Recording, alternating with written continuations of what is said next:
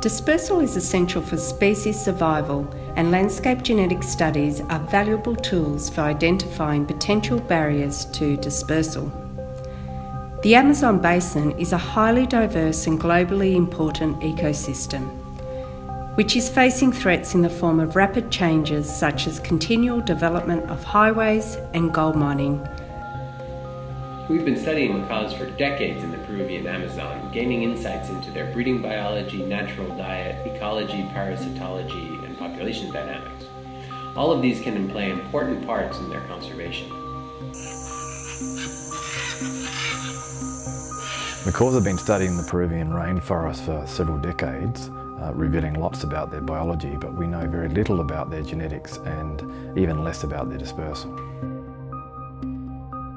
I went to southeastern Peru to study population genetics of scarlet macaws in a huge area of continuous primary rainforest.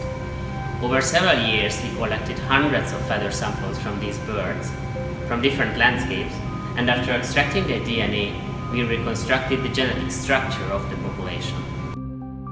We collected remote sensing data with the Carnegie Airborne Observatory using our high resolution laser scanning system called a LIDAR.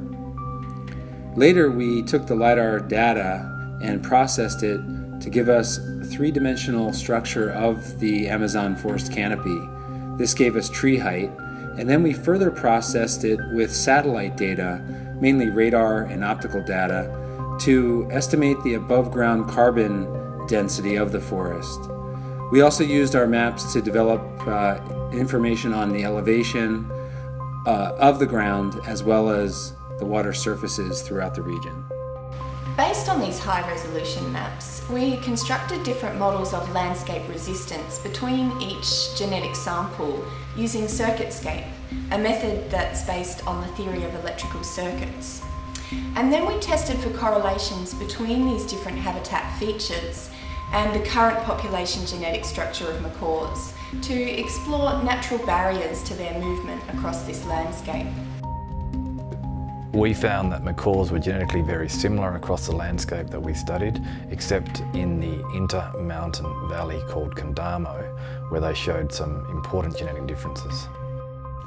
The landscape resistance models revealed that genetic distance between these individuals was related to elevation. This suggests that high elevation probably act as a natural barrier to scarlet macaws and hence limit their gene flow. In another study, we showed that parrot species worldwide are severely affected by the problems caused by growing human populations. This study is very important because it gives us important baseline data uh, that tells us how the birds respond to natural barriers in their natural habitat, and that will help us understand much better the impacts of growing human populations in the Amazon basin.